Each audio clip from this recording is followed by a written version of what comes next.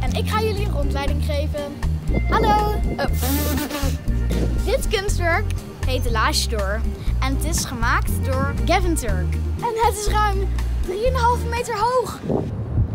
Door deze deur zie je de Nieuwe Maas, daarachter de Noordzee en de Atlantische Oceaan. Sta hier op de kop van de Wilhelminapier. In de 19e en de 20e eeuw vertrokken er meer dan 3 miljoen mensen naar de andere kant van de wereld. Ze kwamen vanuit heel Europa. Deze deur staat symbool voor hoop, dromen en kansen. Als een deur die altijd open staat. Een deur zonder gebouw, maar wel een overgang tussen twee werelden. De oude en de nieuwe.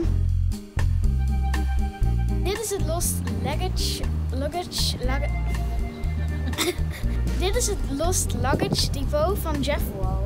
Lost Luggage Depot betekent waarplaats van gevonden voorwerpen. Zoals net gezegd gingen er meer dan 3 miljoen mensen aan boord van de Holland American Line.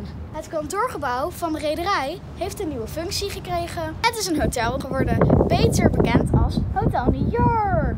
Het ziet er echt nog bijna hetzelfde uit als vroeger. Dit beeld is gemaakt van gietijzer en het weegt wel zo'n 65.000 kilo. Alles van het beeld is een afgietsel van een bestaand voorwerp. Koffers, plunjezakken, dozen en natuurlijk de balken en de planken. De koffiebekers en de kookplaat van de beheerder. De platgedrukte cola in de afvalbak. Het doet denken aan de bevriezing van de tijd, net als bij een foto. De voorwerpen komen uit verschillende tijdperken. Bijvoorbeeld een 100 jaar oude baalzak of een computertas.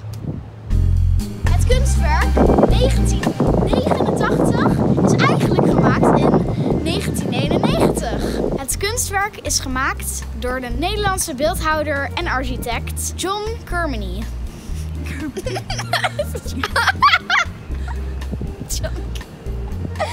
John Kermeling. Eerst wilde hij in neonletters het woord Zuid maken.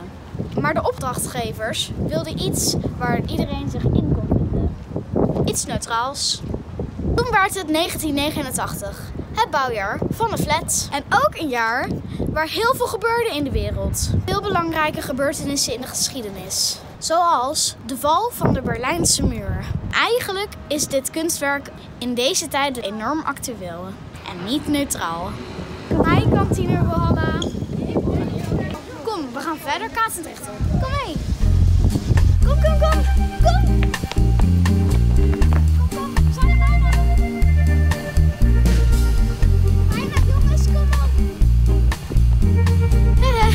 We zijn er. Paardvrij. Monument voor de vakbondsleider Edo Vimmen. En het is gemaakt door Ben Zegers. 1989. Uh, 1998. Het Europese jaar tegen racisme. Want Edo Vimme was een vakbondsleider. vakbondsleider. Hij verwierf grote faam als strijder tegen racisme, fascisme en koloniale onderdrukking. Hij maakte zich sterk voor de arbeiders. In dit monument kun je een staande en een liggende bokshandschoen zien. Die staan voor standvastigheid en dadendrang. Ook schijn je dus te kunnen zien in een van deze bokshandschoenen um, het profiel van Vimmen. Al kan ik het zelf niet zo goed zien. Het staat in het Buizenpark, omdat het dicht staat bij het water, de haven en de arbeiderswijk. We zijn aangekomen bij de roeiers. Het is gemaakt door Jair Ashkenazi in 2000. Hij werd gevraagd om de achtergrond um, en de geschiedenis van Katendrecht te onderzoeken. In overleg met de bewoners is hij tot dit thema gekomen. De roeiers, een zeer oud beroep uit de haven. De roeiers, die bij weer en wind de zware trossen van vrachtschepen en passagiersschepen vastmaakten op de boeien. Boeien. Boeien. Het beeld is uitgevoerd in cubistische en expressionistische stijl. Drie roeiers trekken aan hun riemen die een driehoekige vorm hebben.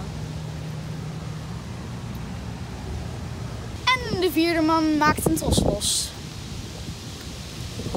Stoere mannen met pets en opgeroerde mouwen kijken onverstoorbaar over het water. Die van zijn moeder aan de kant. We zijn aangekomen bij het laatste kunstwerk van de rondleiding. Ketelwinky! Gemaakt door Huip Noorlander in 1973. Dit beeld is gebaseerd op het lied Ketelwinky, die straatjongen uit Rotterdam. In 1980 verhuisde het beeldje naar de overkant, naar het Willemsplein bij de Spido. Boze kaaplanders. Boze Katendrechters kaapten het beeldje terug naar Katendrecht, waar het volgens hun thuis hoorde. Huip Noorlander maakte een tweede exemplaar in 1998. Dat staat nu in het Maritiem Museum, maar dan iets kleiner en in spiegelbeeld. Dit beeld werd in 1973 onthuld door een heel bekende Nederlandse presentatrice uit die tijd. Ik? Laat maar, niet ik, maar Mies Bouwman. Ter ere van het 100-jarig bestaan van de Holland-Amerika-lijn. Op het Koninginnehoofd. En dat is precies waar ik begon. De cirkel van de beeldenroute is weer rond. Ik ga terug.